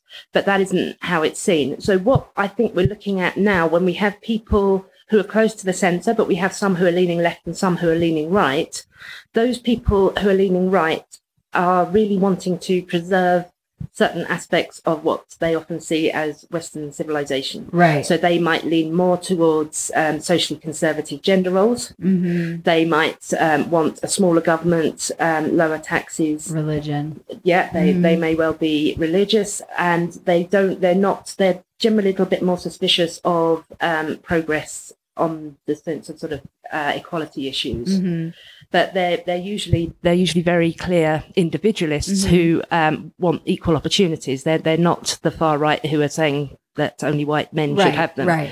And then on the left, we've got the people who are sort of more influenced by some socialist views and some sort of social democratic views and liberal um, views again. So we have there we we've still got the people who want progress who aren't convinced that sexism and racism and homophobia has gone away, who still thinks that's very important to address, who are most likely to be extremely distressed by being called racist, sexist, mm-hmm, mm-hmm. and they're more likely to want things like nationalized healthcare mm-hmm. and um, a larger government, a better, stronger welfare system, mm-hmm. and and that kind of thing. So the the whole sort of left and right in terms of policies are still quite distinct. Right. But when it comes to the big issues around really illiberal and irrational ideas, what we've got are the fringe on the left, which is, is now quite science denying, which is um, it, it's really quite anti-fairness, as you said, with the problems with things like due process and um, and freedom of speech, particularly in mm-hmm. the UK. Mm-hmm. So that's very liberal. And on the, the far right, we're seeing the rise of, of populism, mm-hmm. which takes on a nationalistic tone that veers into racism, which supports gender roles and is um, is really anti-intellectual mm-hmm. as well. So we have the right wingers, and they're um, opposing the far left mm-hmm. As they, which they're seeing as the problems of the left, mm-hmm. and the left wingers who are opposing the rising far right. So it's the extremes. Yeah. Mm-hmm. So we're getting this polarization mm-hmm. in which people are being reacted. Of course. They're reacting to the extremes on the other side, which they see as an existential threat. And they're not doing what Jim and I said we think they should be doing in our manifesto against the enemies of modernity, which is to slow down, look at what your values are. So if you are not a fringe lunatic, you almost certainly believe in freedom of speech, mm-hmm. in um, in science, in reason, and in a fair and level playing ground for everyone. Mm-hmm. If you believe in these things and strong institutions, then you are a modernist. Okay. You are not a postmodernist like the far leftists or a pre-modernist like the far right. Okay. And what you really need to do then is articulate these values, argue for them, and then the people on the right need to address them, the problems on their own side, mm-hmm. and the people on the left address the ones on their side. Mm-hmm. And that is how we get through it. But um, that's how we, we hopefully push those ideas out and marginalize them. But we need to know how to do this, how to address it. So if, if someone were to say to you, um, why do you as a white woman um, have the right to talk about this. How would you respond to that? Probably reactively. I mean, I, I wrote a very reactive piece to all of the white women come get your own. And I was basically like, I'm not doing this. So I just reject their theory entirely and, and essentially say, I'm not playing this game. And that intersectionality is, a, a I understand there are things again i don't like to throw the baby out with the bathwater. I think that it, there are parts of it that are absolutely important to look at and true but that doesn't mean that it should take over all aspects of every every part of our society and the cancel culture and not allowing people to make mistakes and and having these kind of mobs that come after people for the slightest mistake of of words. I mean, it's happening today with what's his name Lopez. So I I don't think I would respond to it in a way that presents me as somebody who's still center left or a or because I because I have been reacting to the extremes in my party, but because the only people who will even talk to me are people on the right because the left has this the extreme left basically in order to defend that theory, there's no, as you know, it's very challenging. Essentially, if you even push back against the ideology, you're now carrying water for white supremacists. So, anyone who kind of pushes back against this gets called a racist or a bigot or so I don't know really how to effectively push back against it. I I I this is why I need you because I don't want to go it, it, it's I've had people and I've my cousin Maggie is one of them where I'm like don't let me it would be easy for me as a human who feels rejected being called a racist is the worst thing that you could be called by my own peers and comedy and people that I know I'm going to see. And and it's easy i have to watch myself to go just you know take the whole red pill down and go all in because i don't i see the same craziness on it's not where where i come from anyway i'm i'm still i still vote democrat you know that's like the irony of it in many respects and I just don't I don't really know how. I don't know how to still fight for social justice and not be and not be crazy. And yet the very first thing you said was the the nub of it. The very first thing you said to why do you as a white woman have the right to talk about this was I don't accept that premise. Right. And that that that is the key to it. But the way that that um you you know you don't accept the premise that people can only speak to certain things if they have a certain identity. Right. And then you went on to say, but you don't want to throw the, the baby out with the bathwater. So you do understand that um, people can have experiences of, uh, of that relate to their identity and that this isn't completely um, a terrible idea. No, and I do still see things where there's, you know, getting house where loans for houses. There's still inequalities out yeah. there that I want to address and fight. Mm, and then you were talking about all the rest of the awful abhorrent stuff that's tied in with it. Mm-hmm. So you know, th- this is this is what I think people are doing when someone comes up to them and says one of these key phrases of social justice. Their intuitions are exactly right but then there, it sort of explodes outwards because there's so much to it. You know, the, the thing that I think we should all say if, if somebody says, um, who are you to talk about this as a man or whatever is say, I don't accept your premise that knowledge is tied to identity. I can, I continue to evaluate arguments on their merits while recognizing people can have different experiences. So that wow. is that's the that's the talking point that's the liberal yeah. response to that mm-hmm. you know but of course you then know that it's tied into so much other stuff and then there's immediately the fear that i'm going to be lumped in with racists i'm going to be be giving some kind of support to right wing views mm-hmm. and it's also mm-hmm. complicated and messy mm-hmm. and this is why i think we really need to articulate this strongly liberal um, clear view so that it doesn't sort of shatter outwards into all of that, leaving people unsure how to respond or whether they should just keep their mouths shut. Mm-hmm, mm-hmm. You know, we need to find a way for people to say, look, I understand that you are concerned about marginalized groups in society. You want social justice. So do I. Your methods in which you're tying knowledge to identity, you're deciding who can speak and who can't speak. You've got different rules for different groups is not the way to achieve that. We've got the same goals we've got different methods, and I think Aaron's going to do it. And what were you saying to me about how? Because I think that there's something really important about the the idea that the individual is still important and the common humanity and within what intersectionality has done their method is to divide everybody up into groups which is essentially creating this sense of tribalism that i think we're all feeling and how do you how do you how would you say something along those lines? You said it so articulately the other day. I wish I had it on tape. I think, um, thank you, but it was just so it so brilliantly articulated what the problem is. You know what the what when you are taking all of these, when you're attaching social justice and knowledge to identity and turning it into all of these little groups and where they the power structures lie you said you lose the individual and the common humanity. Yeah. And I think because if we think about the ways in which we relate to the world, we do really do this in three ways. We do it as a, a member of the human race, mm-hmm. we do it as the member of a community, and we do it as an individual. So when liberalism arose, it looked at the biggest and the smallest element of that. So it was saying that everybody, every ind- the individuality is the important thing of the human. Every individual must have the ability to um, to take advantage of things, to grow, to develop. And so this uh, relies on a, a, shared concept of humanity. We all have um, some something within this realm of abilities, we should all have access to what the world has to offer. Right. Now, sometimes this liberalism missed out on, adva- on advantages and opportunities that could be missed because of a social group that people were in.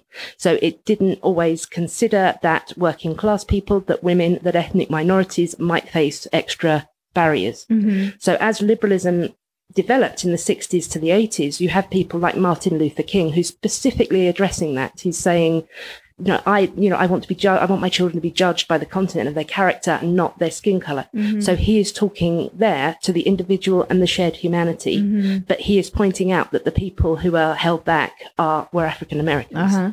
and that was what feminism, uh, liberal feminism, did as well.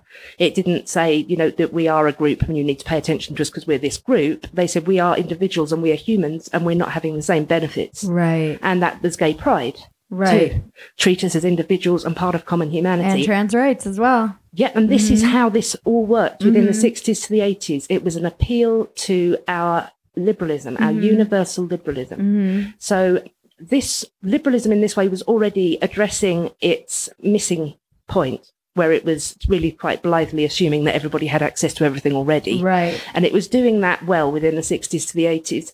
But when postmodernism got adapted within intersectionality and the other kinds of theories, then it wanted to really focus on those groups. Mm. The thought was that mainstream liberalism was still too slow it, any gains that were made could just get swallowed up again by um, sort of social norms. And so the, the group identity really had to be pushed hard to the, to the detriment of individuality and um, universality mm. and shared humanity.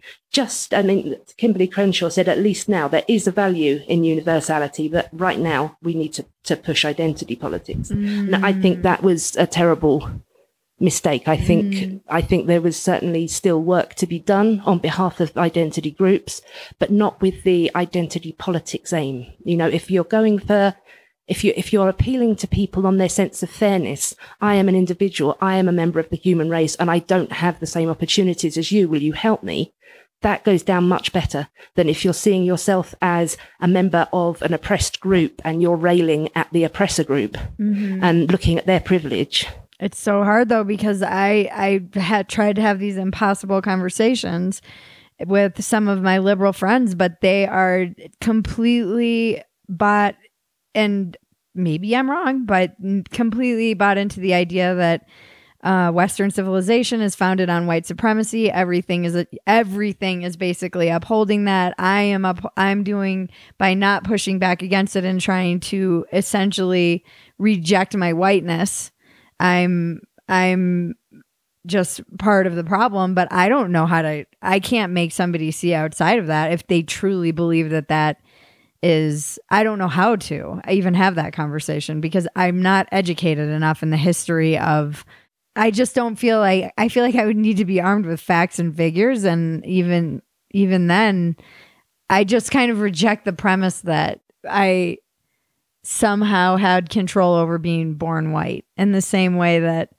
I would fight for somebody who's being judged for being black or brown or any anything. I I have to fight for myself but then that looks like white. You know, no, like, that, that it again, looks like white supremacy. I think look, what, what you're just again there. You're you're talking about universal liberalism, right? You're applying your principles consistently across the board.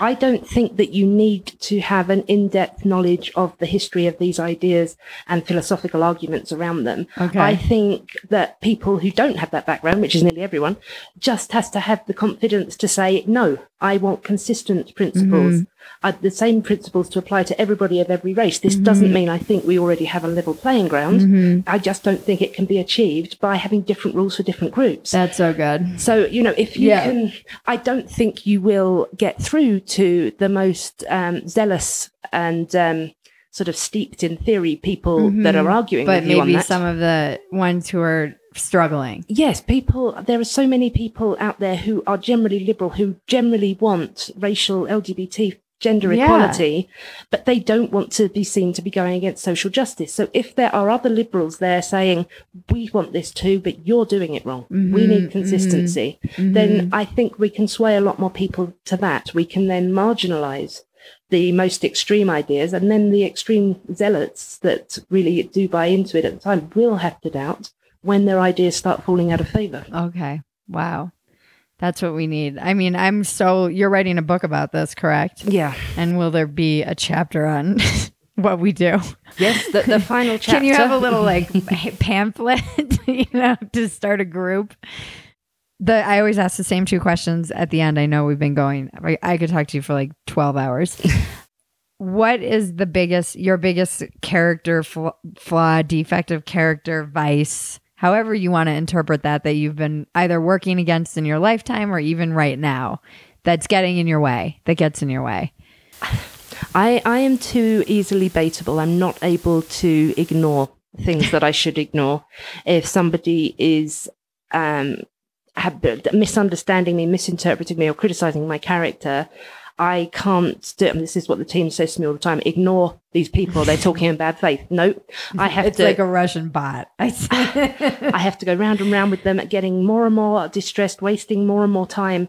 And I, I really need the confidence, I think, to say, it doesn't matter that those people, you, you've got all the information out there. You can explain anything that they don't understand. They don't have to think you're a good person or you know what you're talking about you do. You right. know you are. right. My I had an ex who said this. He was like this. He would argue with people and he was very brilliant and he just said he had a pathological need to be understood. Yeah. He hated it when he was being misrepresented or misunderstood. Exactly. And he would get into these arguments with people and I'm like, if they don't want to understand, they're not going to. You know, they're they're they're. This isn't good faith. Always, they're they're coming at. They just want to argue with you and get attention. Yeah, that's great. I and I think a lot of us fall into that trap online. I'm much better about it than I was probably two years ago. But I see you've been quite good with this. Yeah, I don't. I because I don't. I it's an attention game too. It's giving it's and also moving into 2020 the election. I remember reading I think a journalist was saying like the bots are out in full force and you don't want to fall into the trap of elevating and and giving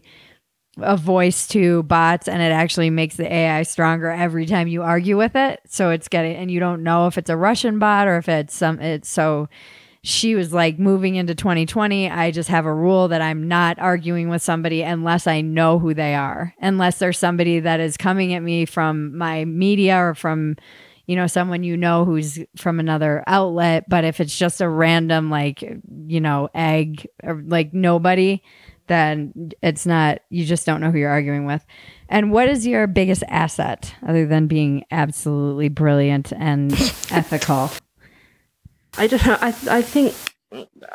I, I, think what a lot of people have told me is that I can kind of bring clarity to things and, and break them down. Mm-hmm. And um, so I, I think my strongest asset is a sort of a verbal reasoning and clarifying. Mm-hmm of things.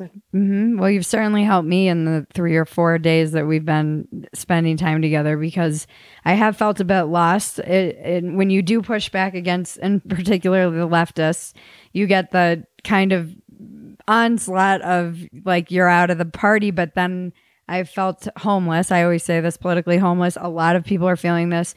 My tribe is tribeless, but I'm not exactly sure what I'm even standing for. But maybe it's just because the principles, the universal liberal principles are so ingrained in me that I just take them. I am standing for them. I just um, can't articulate them because I have taken them for granted for so long. Mm. And I think maybe that's part of what my work is and a lot of people who are going to listen to this and is to remind myself and brush up on what those universal liberal those principles are yeah. that we're standing for because i just took took them all for granted. And Jonah Goldberg, who many people can't stand, but he said that this is a miracle we kind of all stumbled into, and it only takes one generation to lose it. And that is a hill I will die on. So where can we find you? Uh, well, I'm I'm on Twitter at h pluckrose, and and, and you are can... amazing on Twitter. Everyone follow her. and you can find my um, magazine at uh, where we publish a lot of the the best writers from both sides of the political spectrum.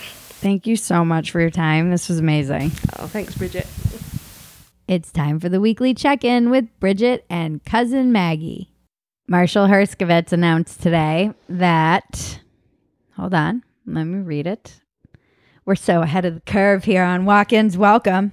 Uh, 30 something sequel series from Marshall Herskovitz, Ed Zwick, and MGM in the works. Fun. You think they'll have Brad Pitt back on to guest star? Maybe. I hope I have a role. Marshall Herskovitz and Ed Zwick's beloved 1987 drama 30 something is making a comeback. I have learned that the duo is pitching a new incarnation of the show, which is garnering interest from multiple networks. Written by 30 something creators Herskovitz and Zwick, and to be directed by Zwick, I hear the follow up series revolves around the children of the characters in the original show, which are now 30 something themselves. Nice. He dropped this on our podcast. He did. He hinted heavily. He hinted. He knew. I had a feeling he was hinting that this was coming down uh-huh. the pipes. I never actually watched that show. I was too young. And my mom was obsessed my, with it. I think it. my parents watched it, but we were not allowed. Yeah, I remember watching it with my mom and not understanding, and she cried like every episode. Uh-huh. But I do, I do remember growing up with it. Yeah. I was young. I was like ten. Yeah, nine or ten. Yeah, and then I remember when I even remember when like they they had complex relationships that were very grown up. Yeah. I shouldn't have been watching it. no, I bet you shouldn't have. Why don't I have any faith in marriages or relationships? I blame thirty something. It was like one guy was having an affair. It was kind of a schmarm. Well, there, but there's really no way to watch the show now, right? I think you can. Somebody did watch it for uh they they did a whole piece on it and they mm. watched it. I'll have to look this up now that the reboot is happening. Yes, I want to roll in the reboot. So, what else is going on, Bridget? Nothing. I almost drank last night. What? So, I went to a meeting. Yeah, it just creeps. Yeah.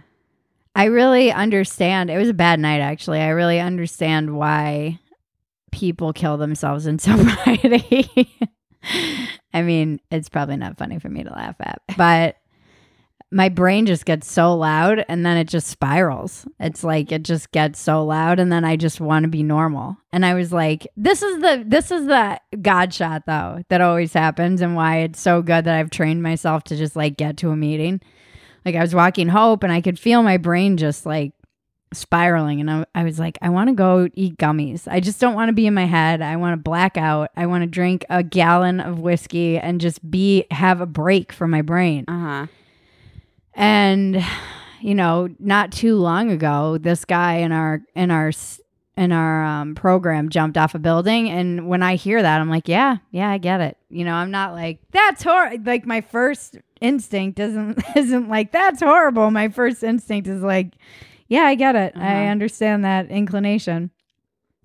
And then I just was alone and maybe it's just a product of like sitting still for the first time in a while and recalibrating. Like I've been working too much and putting work first and mm-hmm. not doing enough spiritual, physical, putting that stuff first like I need to. But I've been saying this. I'm like this it's also a month 3 weeks away from my 6 year anniversary and I get squirrely. Yeah. And I just get squirrely this time of year. My friends all from the farm were texting me yesterday. They're like, "Come up and visit." And I just want to get out of my head or out. I'm restless, mm-hmm. irritable, and discontent, which is the nature of being an alcoholic. And so then I was just walking back with hope and I was like, I need to go to a meeting. I have, I am grateful that I've been trained like smart feet. Yeah. Just get, get your body there and your shitty brain will go with you. Uh-huh.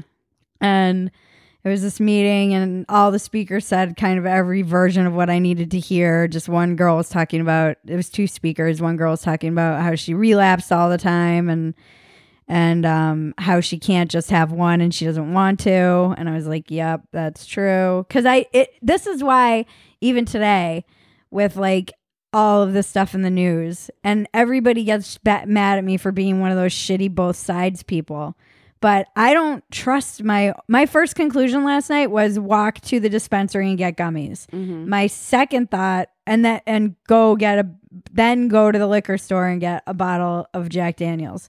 My second best thought was then kill yourself. My third best thought was maybe I should go to a meeting. So it takes me a couple of thoughts before I have a good one. Mm-hmm. So I don't trust my conclusions. I also saw how quickly my brain was like, You've been sober for a while. It was like when I saw that shooting and immediately started lying to myself and watched my brain lying to myself when I witnessed the shooting that that wasn't a shooting, that wasn't a gun, that was probably just kids playing. Like how quickly my brain can be like make things comfortable for me by lying and or justifying something that I believe or want to believe or want. Mm-hmm. It's like that Chinese saying we should be distrustful of what we want. Mm-hmm.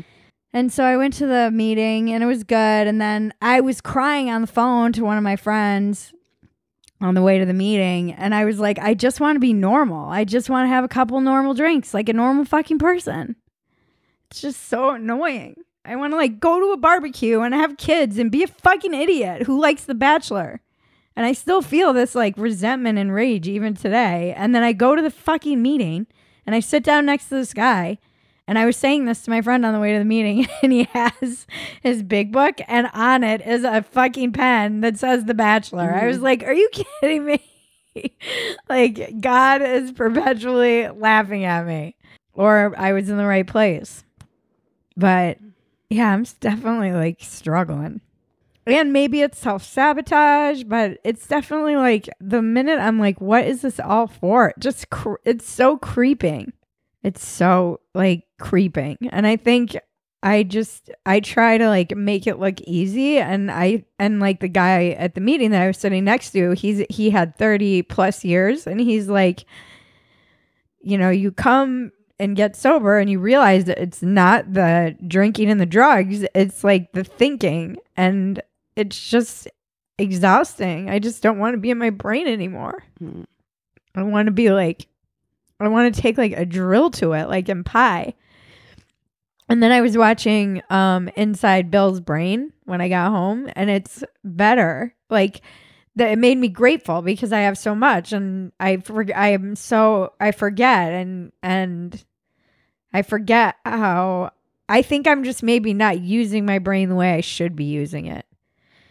Like the th- what I was came away from after the first episode of this three part documentary is that I I'm so resentful of Trump and this news cycle because it sucks all of the oxygen out of the news cycles that are important and that matter. Mm-hmm. Like kids that don't have water and problems that we could be putting our minds to and our ingenuity to. And instead, everyone gets sucked in. I feel like I'm just petty. Like my thoughts are petty and small and um I want to be inspirational and grateful and I feel like this news cycle sucks everyone into like the worst version of themselves no matter how hard you try. You just become like petty and and yucky.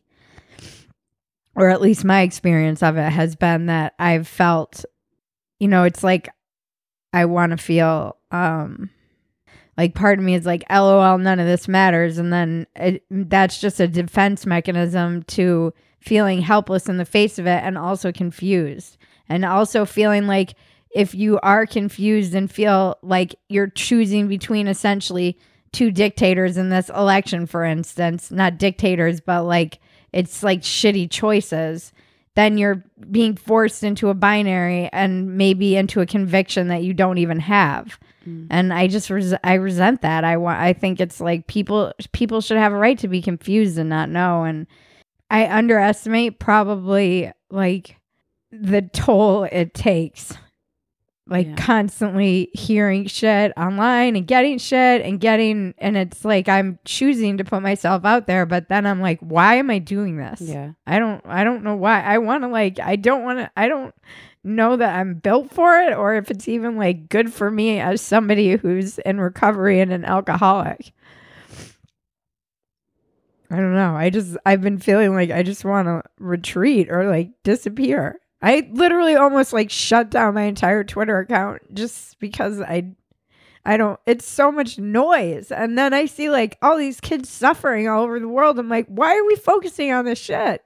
We have the resources to help all these people suffering and we're focusing on like gender Barbies. It's just such a like misplaced priority. Mm-hmm. We just have such fucked priorities. And then I get like it, it goes to like nihilism. Mm-hmm. I just feel like, and that's why being inside Bill's brain was good. It was like he's so optimistic, kind of eternally. and puts his mind and innovation to like solving huge problems that seem unsolvable. I don't know. It's like I think it's I think the news cycles are hard getting harder and harder and I don't they're just um they make me sad. I think people are struggling. Yeah. And then they just tune out because yeah. why why would of course. Mm-hmm. And I can't tune out. Mm-hmm. I don't mm-hmm. have that ability. Mm-hmm.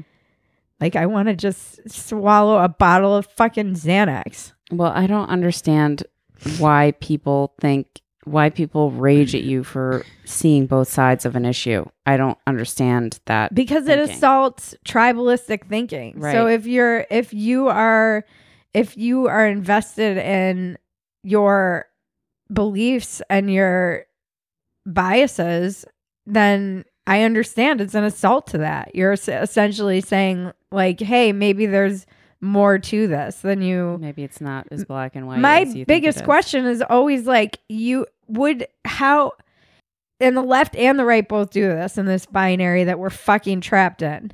And they'll say like i see it like with the for instance with the greta thing. I'm like if this girl was out there preaching pro-life you know and like starting a worldwide movement for pro-life she would be upheld by the right as like a deity.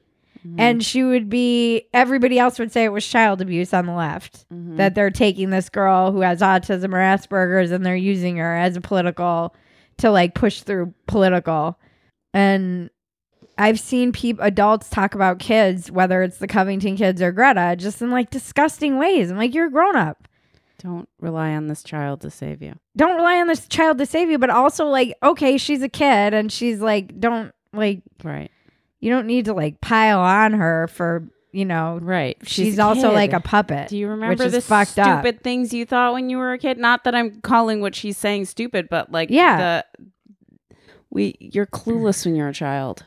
And especially, I've worked with kids with Asperger's and autism. They get fixated on something, mm. and you can't it's hard to get their mind off that track but they're that doesn't mean they're right uh-huh.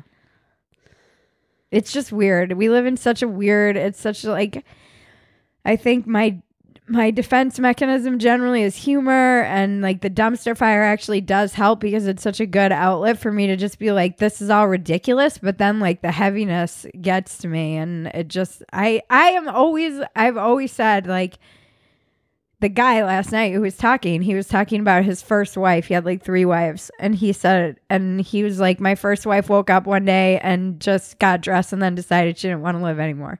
And I was like, that would be me. Mm-hmm. That would be like I understand that. That I wouldn't be the person who was like depressed and then suddenly it was like you would never even fucking know. People would be like she was tweeting yesterday because it just it it's scary when it like takes over like that. It scares even me. It's like so it just gets so um i don't know. It's so out of the blue. It's like this darkness. It's alcoholism mm. it really is like so insidious. But the guy was saying you know we have a daily reprieve. Dependent on our sp- spiritual condition you cannot expect that this is something you don't have to treat daily and just like whenever that happens, it's just a reminder that I need to like focus more on my connection to God and my faith yeah. and and if you have to shut program. it all down, shut it all down. Like that the most important thing is your sobriety, your mental well-being that I mean, I feel fine. That's a weird thing. It's just like I think it just it's like my brain gets so loud and I just want to turn it off. There's no other way to describe it. It's like I want out of my head. And I, by the way, I've been crying about this since I was 10 years old. Mm-hmm. This isn't like a new feeling. This is something that I, I remember being a 10 year old kid saying to my mom that I felt like I, I didn't, I wanted to be like a normal kid. And so I don't, this is not like something that came this is like a long standing feeling. I just wanted to be like, for always have wanted to be free of it. Well, I was editing the Jamie Kilstein podcast last night and you guys talked a lot about suicide. Yeah. And Brody, your friend, the comedian, and oh, Robin Williams. It. Yeah. And you, and, but you did say you were like, the thing is, is I know when I get in those places that this too shall pass. You know, whether it's good or bad. I I know that if I just hang in there a couple days, usually. Yeah. It's that like not trusting that first and second thought. Mm-hmm. It's why I don't trust my conclusions about anything. You know, people are like, you should trust yourself. I'm like, no, I don't. I can't. I can maybe trust my third conclusion after I've run the first two by people, but I don't. My first and second conclusions are usually like do something self destructive or die. Mm-hmm. And then I get to something that's like, oh, maybe pray, reach out. I'm lucky that I've trained myself to like just go like a zombie. I just went to a meeting mm-hmm. and sat down but I I'm lucky a lot of people like in early sobriety I didn't have that. It was I was much more tortured even then. Mm-hmm. I think like anyone who's in the first couple of years, it's so it's so hard. You literally have to train yourself to be like go to when I feel like that, I'm like go to a meeting. Mm-hmm. Even if I don't want to, even if everything in me is like so now I'm doing 90 and 90 because I'm like obviously I need a meeting like every day, maybe more and then I resent the fact that I need that, but it's better than like I there's no alternative. Like there's just there's no I'm grateful that I have so many people that I I'm grateful that I'm out about being sober because those are the things that keep me sober and alive is just thinking like my you know about my family members and my friends and people online who have like I've helped or inspired or just my very act of being sober have and and that you know in those moments when I'm like that first thought of like I should just go throw this all away it's like no then how that would suck for all these other people too. Mm-hmm. it's not just me that it would affect. Mm-hmm it would have like a ripple effect. In the same way that when you do good, it has a ripple effect, or when you better yourself, it has a ripple effect you probably don't even know about. Yeah. When you do things that are self destructive, it has ripple effects that are long reaching, probably more than you realize. I don't know. I didn't think I had anything to talk about when I sat down today. I kind of buried the lead.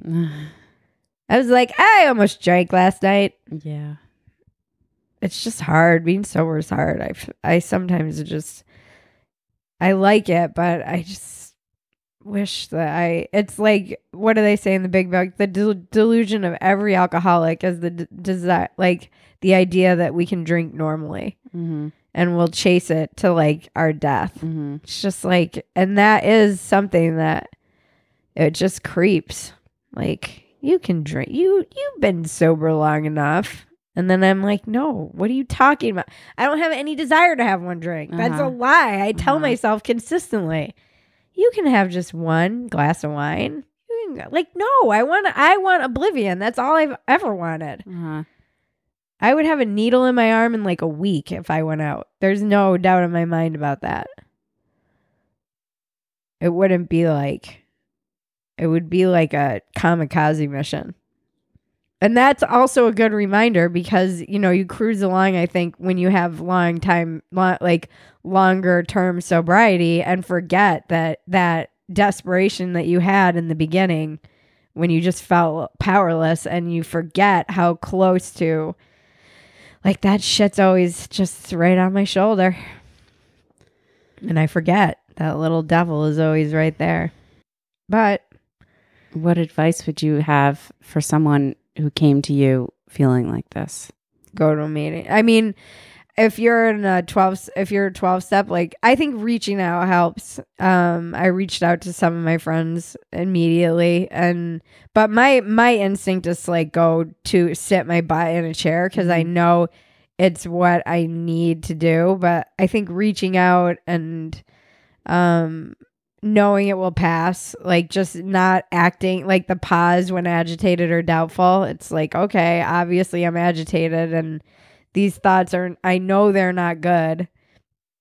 Praying, like I definitely prayed that God would help me, you know, and, and I was able to recognize too, just kind of when that spiral takes hold just it's so fucking crazy it's crazy because i'm so present in the experience mm-hmm. of like i don't even know what triggers it it's just i think I, i've been saying it's just been like building up i've been feeling it whether mm-hmm. it's like hormones or maybe i'm it could be hormones it could be a combination of that plus like my you know er- everyone gets squirrely around their anniversary coming up all the things and working too much alcoholically and not all the, all of those things combined i've been feeling it. And then something just kind of triggers the spiral but then what i observe is how quickly like self-pity rushes in. And then it's like oh poor me i can't be normal. I just want to be like a, a girl with like a mom a, with like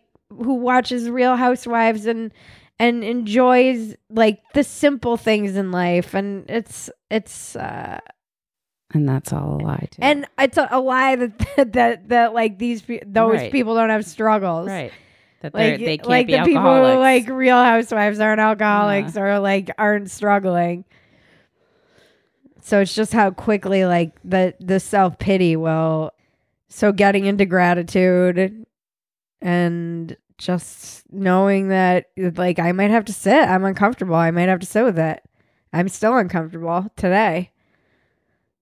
But less uncomfortable I'm less like spontaneously ready to combust than I was last night.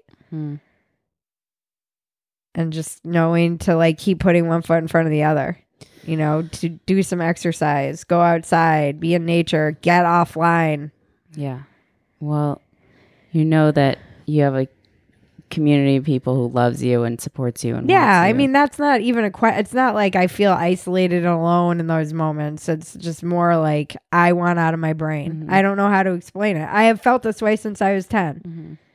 like i i don't there's no it has nothing to do with the people around me or my circumstances. It's really just that my brain gets so loud that it's it's so uncomfortable and and it's just relentless. And I meditate and do acupuncture and run and do all these fucking things. And then when it feels like nothing is working, it's just like it it's tiresome. It's it's weary. I get weary of my own brain. Mm-hmm. That's why people are like, "Do you listen to your podcast?" I'm like, "No, last fucking thing I want to hear is myself." Mm-hmm. But sorry to leave this on such an uplifting message. I think reaching out though, and just you know I think being honest about it helps helps other people. I hate being honest about it. I don't even want to be honest about it now, but it's coming out of my mouth, so I feel like I guess it was meant to be. It's a struggle. A struggle of and then, you know, just being grateful. Like watching all these kids in the developed world, like we're just so fucking lucky. My dog has more than most kids in the developed world. More water, more antibiotics, more care, more food. She's a little chubby fat ass right now. and I just have to remember that, you know, put it and and maybe try and help people, help those people in whatever way I can. Which feels impossible and limited, but that is why I want to make a billion dollars. Mm-hmm. Like seeing what Bill Gates is doing, I'm like, yeah, yeah, that's why I want to make billions of dollars so that I can be like, there's a global problem with sanitation and then go fucking solve it. Mm-hmm. It's amazing. Mm-hmm. And yeah, sure, maybe he's trying to rehab his image for being an absolute monster, but he's also doing good. He's brought the world toilets. We'd like to thank our sponsors this week Manscaped and Ritual. Support for Walk Ins Welcome comes from Manscaped, who is number one in men's below the belt grooming. Manscaped offers precision engineered tools for your man's family jewels. Get 20% off and free shipping with the code WALKIN at manscaped.com. That's 20% off with free shipping at manscaped.com. Do your ladies a favor. Hit manscaped.com up and use the code WALKIN. They'll thank you. Ritual is the obsessively researched vitamin for women. Better health doesn't happen overnight, and right now, Ritual is offering my listeners 10% off during your first three months. Fill in the gaps of your diet with Essential for Women, a small step that helps support a healthy foundation for your body. Visit ritual.com slash walk-in to start your ritual today. That's 10% off during your first three months at ritual.com slash walk-in. Tune in next week for another riveting episode that will change your life, help you get out of your own way, and solve all the world's problems. I want to thank Ricochet, our composer Jared Elias, my co producer and cousin Maggie, and all of you out there listening. This has been Walk In's Welcome with Bridget Phetasy. I'm Bridget Phetasy, and you're welcome.